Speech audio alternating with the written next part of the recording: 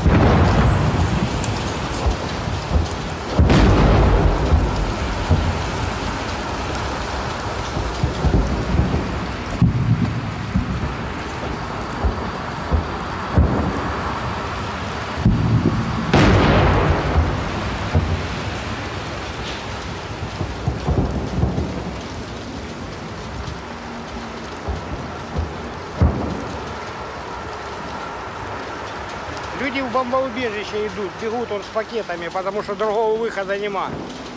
В квартире оставаться, но небезопасно.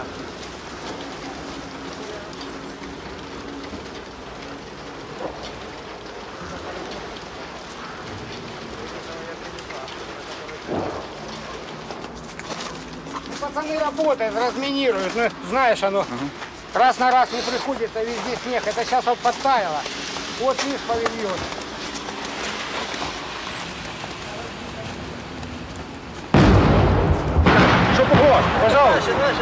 Ok, ça va tomber là. Ça, ça peut être après-midi.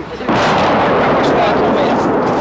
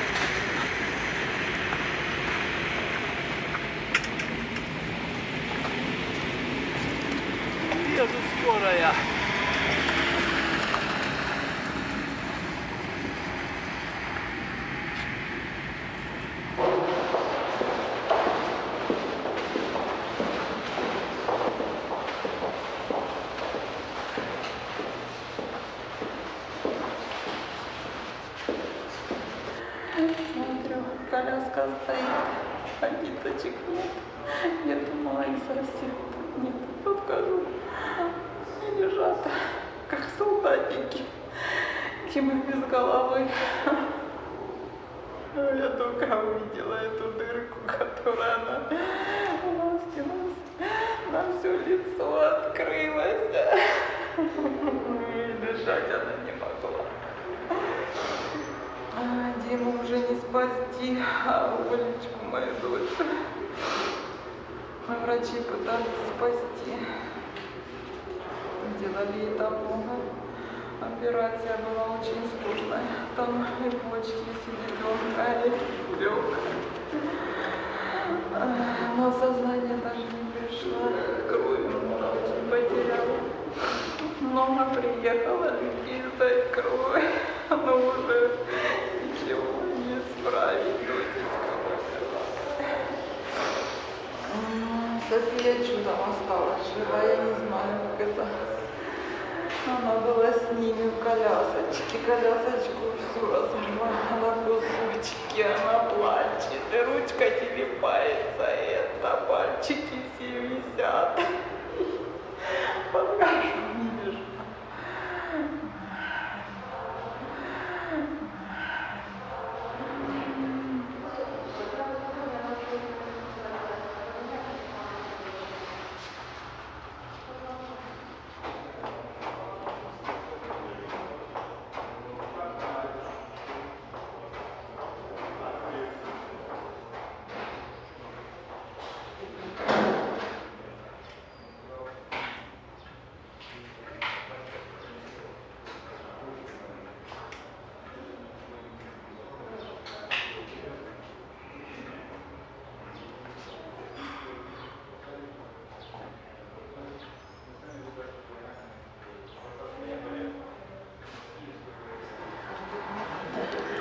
Вот это дело в том, что я попала сюда вместе с дядей.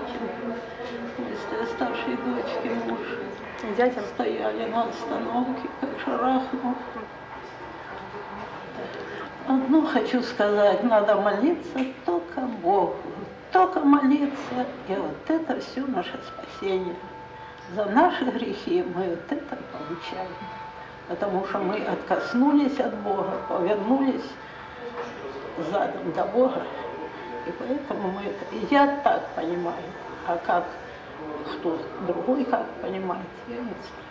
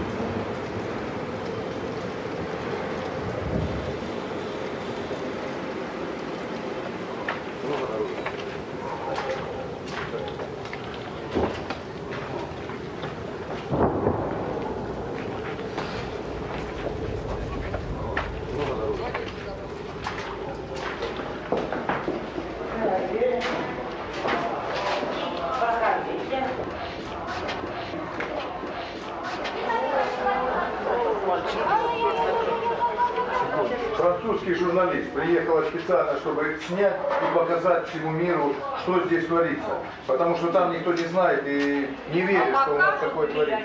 Покажем, покажем. Вот именно она, мы ж, пой- поймите, те, кто приезжает и кого мы приводим, они показывают все. Мы покажем.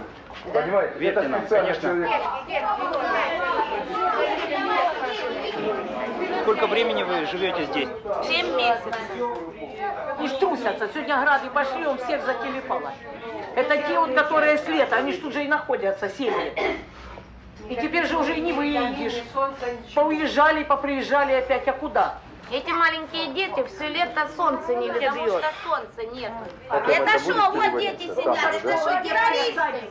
Вот что это за страна, в которой свои же своих убивают. Детей, стариков и прочих. И что как- это за страна? И какой ты президент, когда ты делишь детей? Дети все одинаковые. Причем дети? Дети не виноваты ни в чем. А он говорит, А наши дети виноваты? будет- будут учиться, а ваши пусть по подвалам сидят. Если бы это пришел враг откуда-то сюда, а то брат на брата пошел, семьи поразделялись, бомбежки войну такую устроили, таких какие времена? Дети гибнут, дома Сепаратисты, рушатся. где тут Попробуйте остановить теперь это все. Вот бабушка задыхается каждую ночь. Ей надо в больницу, она в больницу попасть не может. А то у вас так целый этот самый мир за вас стал, когда у вас убили 12 человек. А когда у нас тысячи гибнут, никто ничего не говорит. В подвале его инсульт схватил, и он тут умер. Они разве за людей нас считают?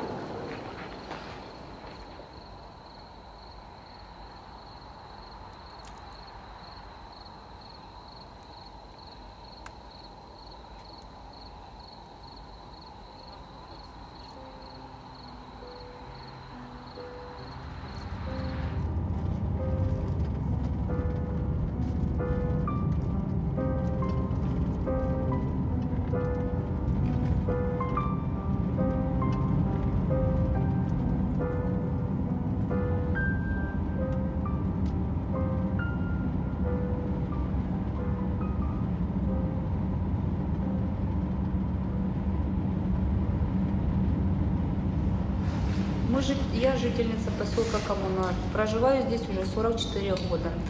16 августа к нам зашли украинские войска. Они здесь себя вели очень отвратительно. Мы жили 36 дней в подвале, без воды, без света. В бочках возили воду сюда. Такую, пить невозможно. Да, Понапиваются люди, травятся, но бочки их вообще в каком году были. Уже говорили с этой воды. У нас возле подъезда стояла печечка такая, с камешка выстроена. Они проходят либо утром, либо в обед. А, еще говорит, сепаратисты, вот вы хотите, раз печку сапогом врезал, сбил и все. Заходили в подвалы, где люди сидели, мирные жители с маленькими детьми. Угрожали, кида, ну, как, зайдут, напьются и говорят, что кинуть сепаратисты вам гранату, чтобы вы тут повзлетали. Тоже женщину встань, ляжь, ложили на пол под автоматом, вставай, ложись, вставай, ложись. Да, издевались над людьми как могли. Там у нас жили на первом этаже как бы сожители. Они все, ну, как бы людей за водку продавали людей. У нас из-за них погиб мальчик, Коломицев Никита. Он стоял на, ну, как бы был в ДНР, да, на блокпосту этот мальчик, потом он вернулся домой, и они его за водку продали, украинская гвардия, что он, типа, он стоял там и там, и напились и говорят, а ты, Никита, расскажешь, где ты стоял, что? И этого мальчика забрали, здесь в клубе издевались, били, отрезали ему уши и выкинули его в шур в шахту номер 22 на телефон. Вот. Здравствуйте. Здравствуйте. Вот так вот мы. Сколько находили вот на шахте на 22 и беременную 80. женщину с отрезанной головой. И так сколько находили людей. Руки связаны, э, рот скотчем заклеенный. Ну это ж вообще, Кто без это, головы? это садисты. Кто без ушей? Все И все понятно, но здесь. при чем здесь мирные жители? Зачем над людьми издеваться? Если кто-то не может где-то что-то поделить, при чем здесь? Шахтерский ночь? поселок, люди работали в шахтах, все это самое семейное, все это, ну вот как-то так вот получилось, что люди как ненужный элемент оказались мы здесь, рабочие. Людей понаходили без голов, без ушей, очень много людей.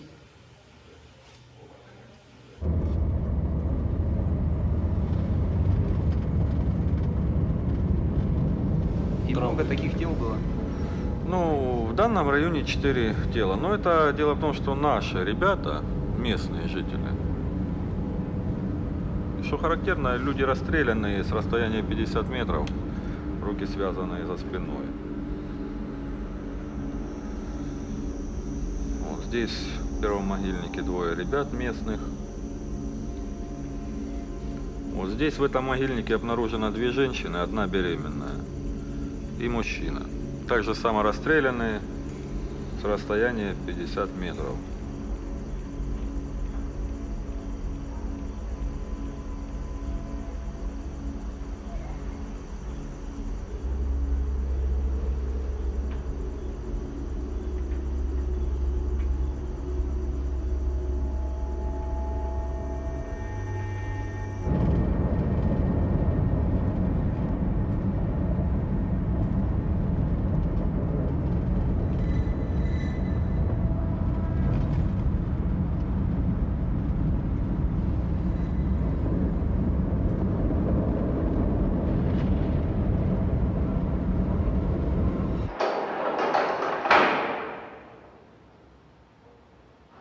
Меня зовут Андрей, я бывший служивец ну, Збройных сил Украины. М, Призывался в 2013 году, ну, когда еще было, не было военных действий, и служил в городе Одессы, во внутренних войсках.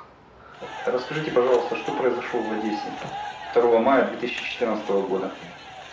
Был сожжен дом профсоюза вместе с, людьми, которые находились внутри, которых загнали вовнутрь.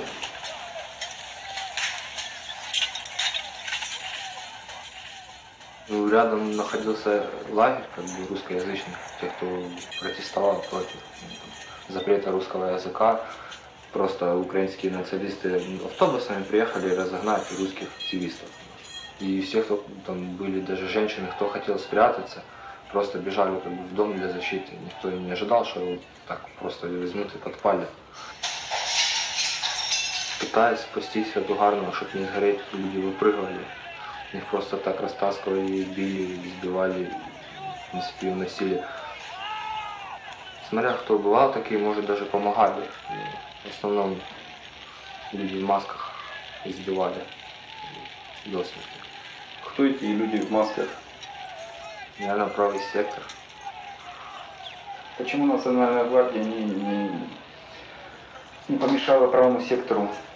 Простой солдат выполнял всего лишь приказы, но нам приказ никто не, не дал. Сказали просто стоять между и все. И почему они это все делали?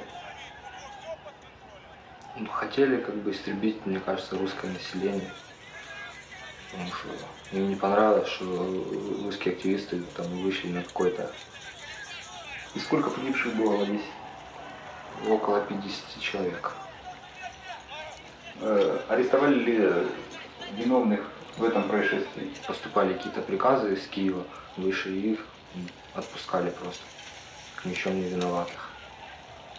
Так вот все это, в принципе, происходило.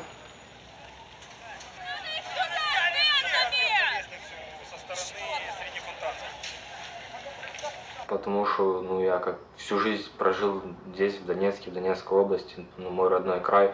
И когда начали посылать ну, на родную землю, я не мог просто пойти убивать своих братьев, сестер, родных, близких. Мне как Донецкий край родной по духу, я ну, сам отсюда. Я решился на такой отчаянный шаг, что я лучше погибну здесь среди своих близких, чем буду там отсиживаться где-то или стрелять в своих же. Не, не смог просто так. И поэтому я сбежал с украинских военных.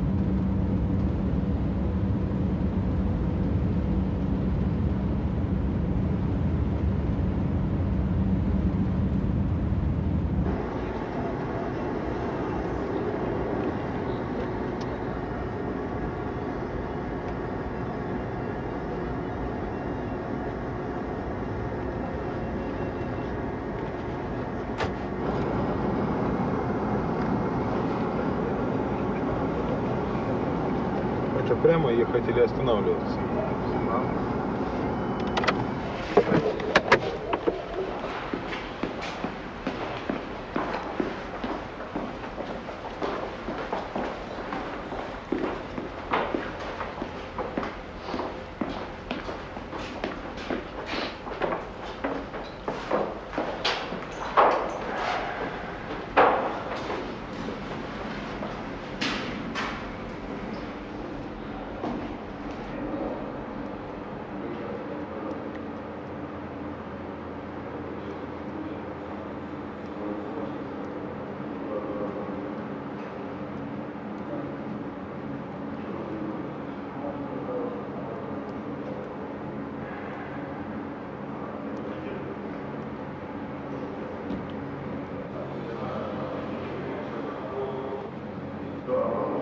Вот она, звездная жизнь. А это мы вот живем 8 лет. Ой, 8, извините, 8 месяцев. Уже мозги вместо кисель. Вот, и родственники все поразъезжали, все это самое, а мы остались. Где-то, говорит, вот кричат, что надо уехать. А с чем уехать? Где-то ехать нужны деньги. Мне 65 лет. Где я нужна? Работы нигде нет. Вот. И с таким здоровьем, с таким возрастом, так же, как и молодежь. Вот. И они говорят, вот э, в России мы гнобит нас вот это. Предоставьте работу здесь людям, на Украине. Вы же уничтожили все, вы же все шахты, заводы, вы же все позакрывали. Ничего же нет. Где людям работать? Вот и вынуждены люди ехать туда, где им предоставляют работу. Ищут, не зря говорят, рыба где глубже, человек где лучше.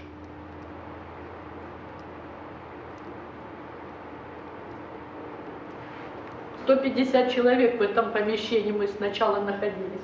А это Лиза, это кошка э, заводская. Она здесь живет. Это наша кошка. Мы здесь вот с ней 8 месяцев. А дети, я говорю, что как начали бомбить 25 июля, я же говорю, что мы еле детей вывезли отсюда. Под бомбежками и все. И скитаются сейчас. Ну, как внучка говорит, бабушка, если бы вы не война, говорит, я бы не побывала ни в Белоруссии, ни в России. Вот, говорю, лучше бы не было этой войны, лучше бы ты так проехала и в Белоруссию, и в Россию, чем сейчас вот это так. Ну, не знаю, меня просто вот это общество европейское поражает. Как это так?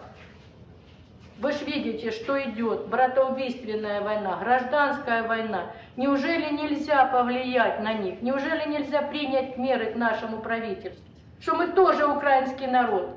Хотя мы родились в Советском Союзе, да, я не против того, что я родилась в Советском Союзе. Но мы жили, не существовали так, как вот мы сейчас существуем. Волочим вот это существование. Действительно, он сказал, что бомжи у них живут лучше, чем мы. У меня есть квартира, есть где спать, есть где сесть за стол. Но я там не могу находиться, потому что я не знаю, в какой момент они начнут бомбить.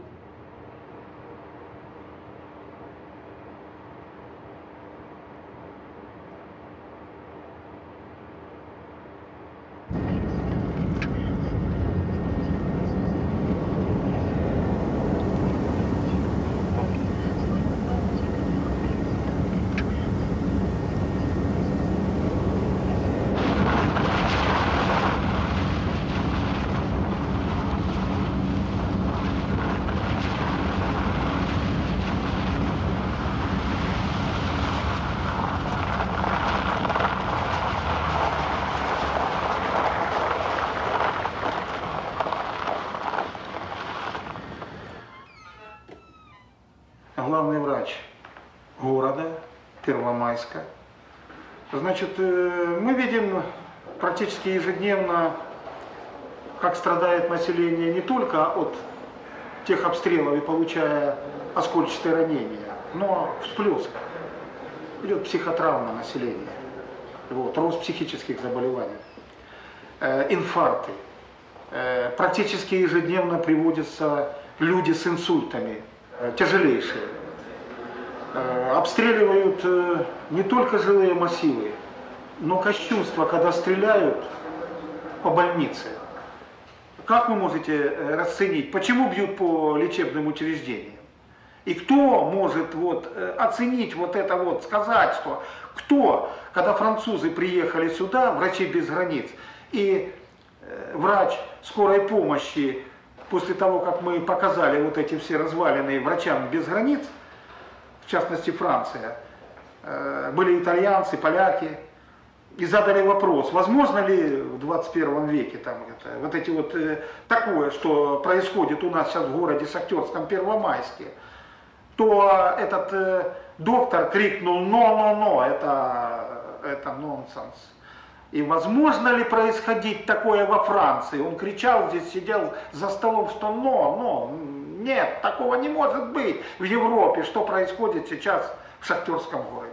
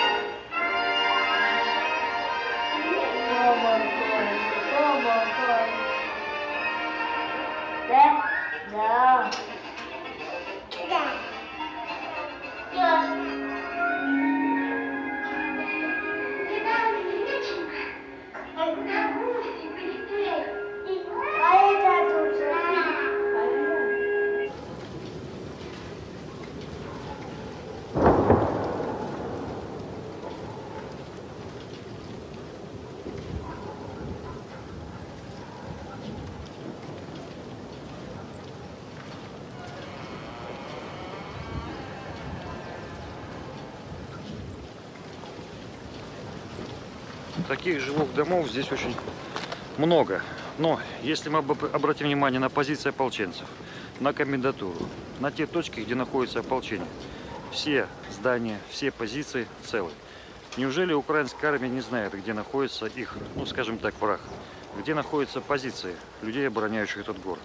Прекрасно знают. Но заметьте, стреляют по домам, попадают в жилые дома, попадают, попадают в инфраструктуру, детские сады, школы, больницы. Для чего стреляют именно по, мы- по мирным жителям?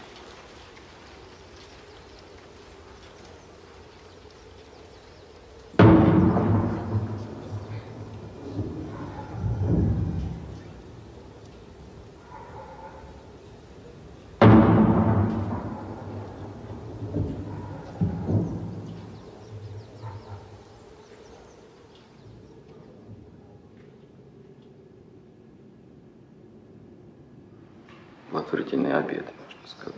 С первое, второе, и для детей. Детям раздаем, когда приходит помощь гуманитарная, раздаем сладости. На праздники раздавали на Рождество, Рождество на, на Николая Угодника 19 декабря праздник был. Также давали детям подарки, готовили концерты в эти дни.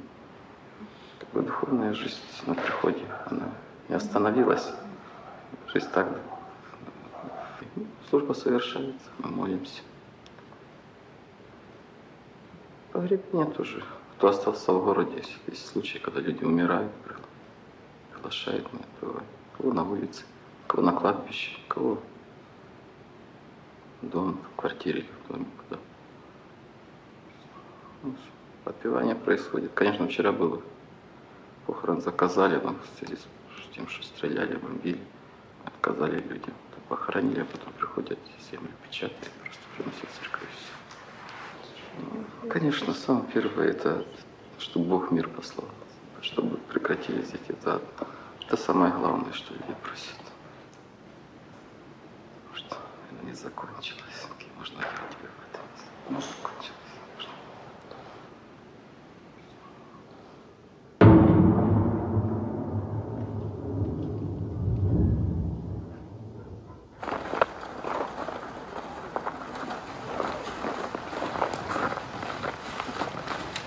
Здравствуйте. Объясните, пожалуйста, куда вы едете с Дидоном? Объясните, пожалуйста, куда вы едете с Дидоном? На Рублевку. Ну, Вчера на чуть-чуть дали позавчера, поза... позавчера. И вчера дали, а до этого дней 10 не было воды. Потому что насос был сломан. На Рублевке тоже не было, люди хоть там обедают. А там идем помогать. Там идет что вода, когда насос нормальный. Там кормят, идем помогать, не успеваем.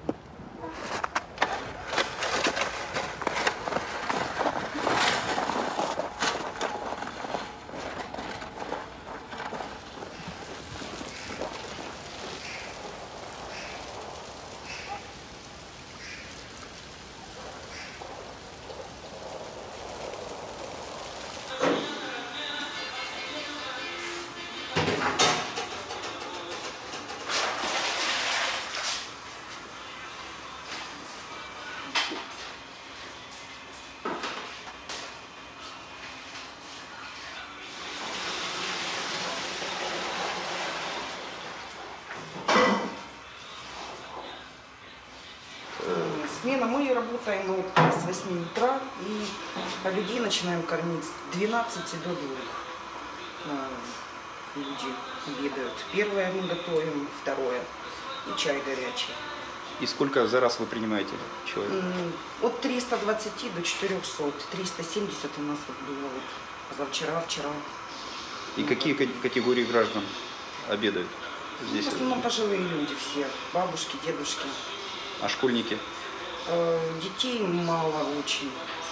Кто, если только с собой детей приводят. Все по, по бом- бомбоубежищу, Да, скорее всего. подвалах, да. И сколько у вас здесь работников? Э, Четыре на кухне и два, шесть человек. И все получается, волонтеры, Да. добровольцы.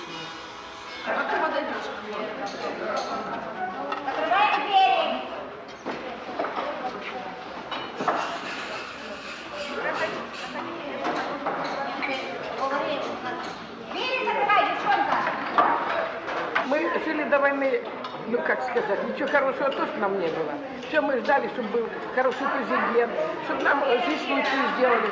Ну, ждали, ждали, чтобы лучше и лучше было. А лучшего так и не было, только хуже и хуже. И дождались войны. Ну, а теперь война, это вы сами понимаете, что такое. Ну, конечно, сейчас мы уже хоть, как говорится, вздохнем с облегчением, что прекратились вот эти бои. Ну, надолго или нет, не знаем. Мы даже это не думали никогда. Никогда не думали. Я даже всегда, вот сколько как была, вот праздник День Победы, когда приходит это, я так все всегда думала, ой, думаю, как хорошо мы живем столько лет без войны. Ведь раньше всегда была война, и война часто были войны. А мы сколько лет уже прожили без войны. И я думаю, господи, я ее не видела в глаза, эту войну. И хотя бы прожить всю жизнь без войны и умереть без войны. А вот видите, в старости и пришлось увидеть эту войну. Где-то какой-то звук услышишь, ветром колотьет, какую-то железячку крышу соседа там телепается. Уже думаешь, ой, наверное, это уже взрывы будут. Уже не наверное, стреляют. Опасение вот такое не, не выходит из души.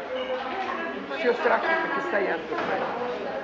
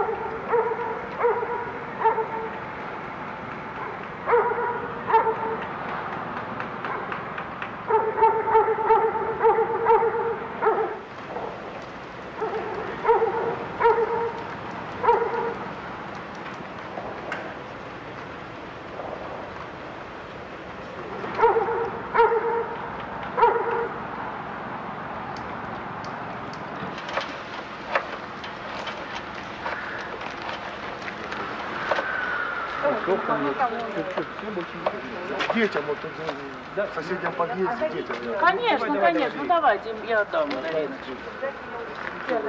Были макароны, все, как там в городе люди подходили, порасовали. Вот видите, в городе они там чаще. Сколько здесь это длилось? С 19 января по 18 февраля. День в день, утром, днем и вечером. А так, так, а у тебя что там? Ну, окна тоже. Ну я тоже окна полностью. Но мне надо, если честно, надо менять окна полностью. В чем мы виноваты? В чем? Отрабатывали по 40 лет стажа вот я на шапку работала. Муж умер, тоже 37 лет работал. И что мы виноваты? Ну что мы виноваты на сегодняшний день? что мы сейчас не выплачивают. не выплачивают пенсию. Не нам, мы уже проживали уже столько времени. На внуки, правнуки. У меня правнучке два месяца. И он не работает, она не работает. Я говорю, «Ну, что не получают? Ну, получают они на детей, там вот это детское там, питание, памперсы, это все. А так надо ж кушать. Страдаем.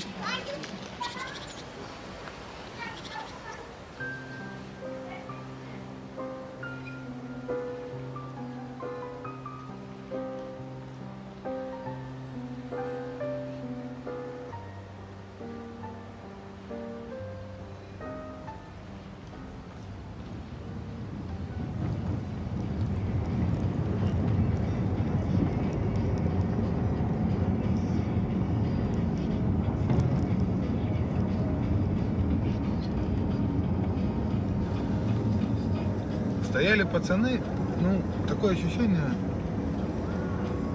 Ну, во-первых, стояли с берданками, с дедовым, с дед, ну, автомат был один, по-моему, у них на, на весь блокпост. Да, да, ополчение.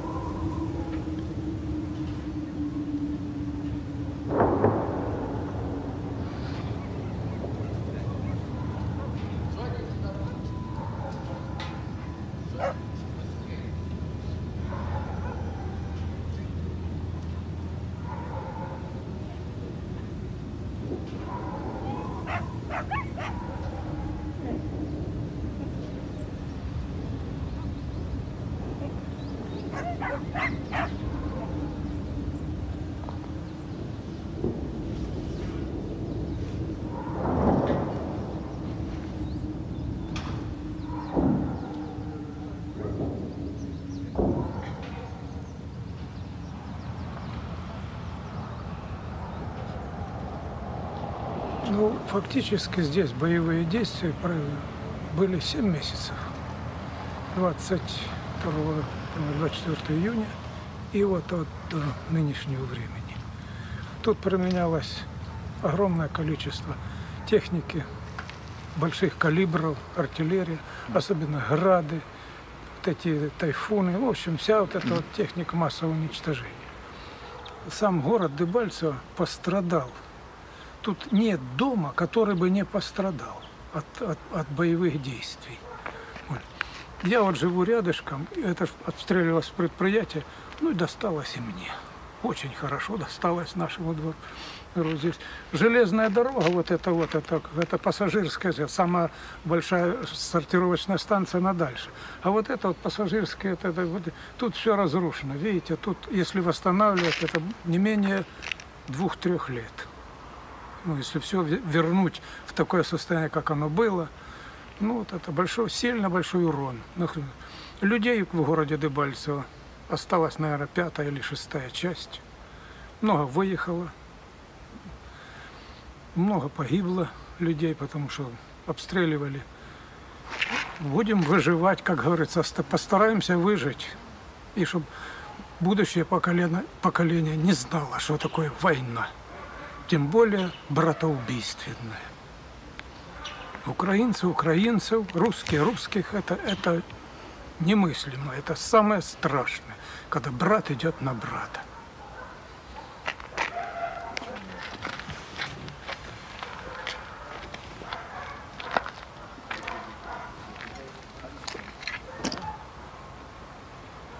Мы уже научились, как говорится, за это время – определять, кто стреляет, чем стреляет и где будет взрываться.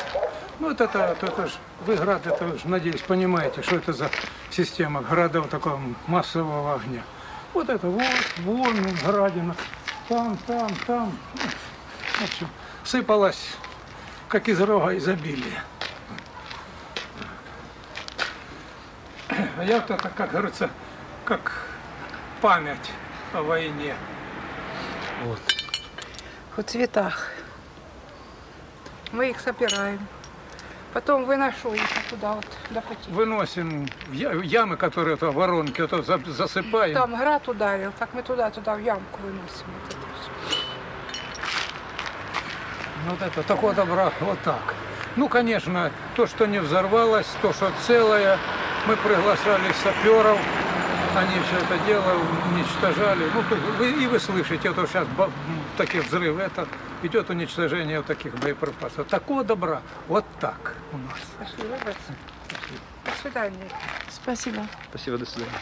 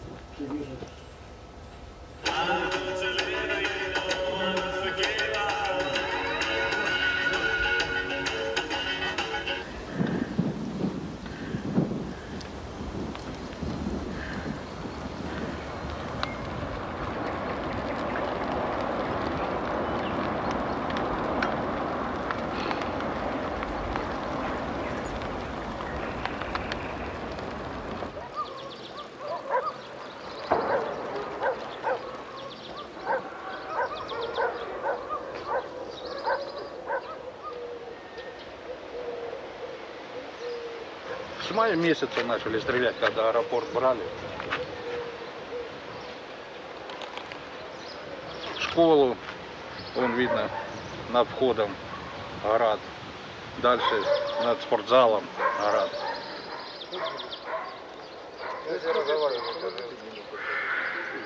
Не было ни газа, не было ни воды, ни света. По три, по четыре месяца. Ничего не было. Подстанция разбита была. И до этого не было.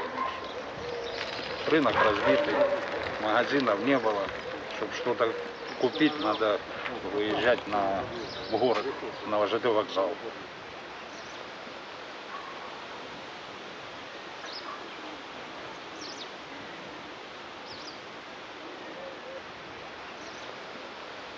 Люди вот пятиэтажка. Один человек только живет, которому уехать некуда, все, больше нет. Зимой отопления не было. Воды нет до сих пор там.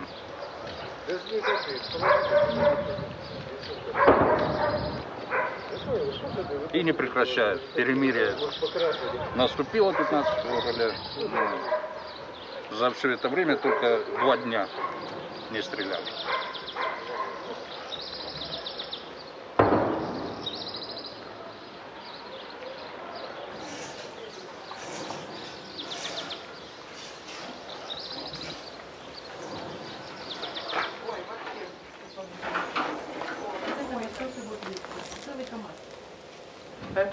Собрали все железки, что осталось от дивана, от кровати, Холодильники, холодильника, вон плита.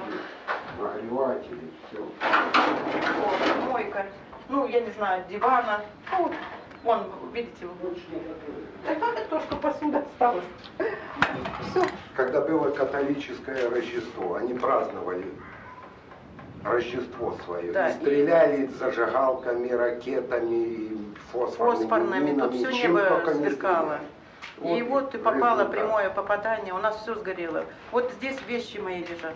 Вот, вот, вещи. Мы вот сейчас вам покажем то, что мы диваны, выгребли. холодильники, вот они. Нам жить негде, и мы надеемся, что еще что-то будет восстановление этого дома, поэтому мы пришли, э, вот выгружаем здесь грязь, все, сказали, пока окон нет у людей стекол. Фактически это нам предложили всего лишь общежитие. Хотя нам с декабря месяца мы бегаем, мы не знаем что. Нас трое.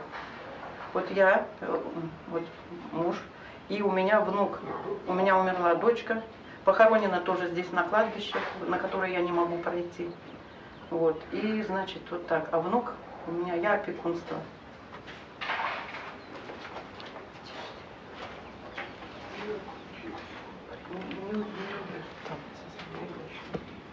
И вот красавец аэропорт. Там вот сидел снайпер осенью, и он со мной игрался. Уже листва опала, и у меня вот стекло было, но сейчас стекол вообще нет. Все вот в таких дырках. Я не могла зайти на кухню. Свет мы вообще не включали, когда они ну, залезли вот сюда в это. Это слов нет. И мы, знаете, я на корточках, чтобы плиту еще свет был тогда, чтобы включить, подогреть что-то. Мы считаем, ползком лазили. Вот, идите, гляньте, аэропорт, красавец. Ну, сейчас я думаю, что хоть бы наладился мир, я не знаю. Так хочется мира.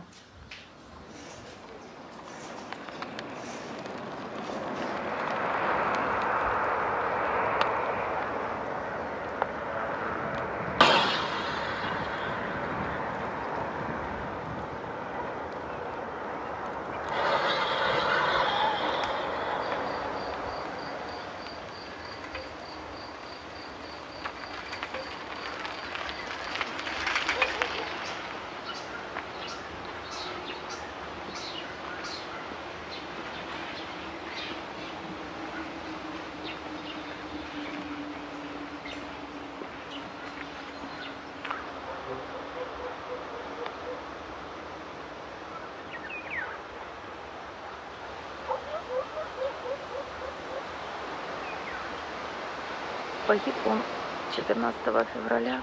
Ну, это как бы день влюбленных, да, день Валентина. Ну, я думаю, что он вообще был ребенок необычный. И даже день смерти тоже необычный. То есть все девчонки, ребята, мы.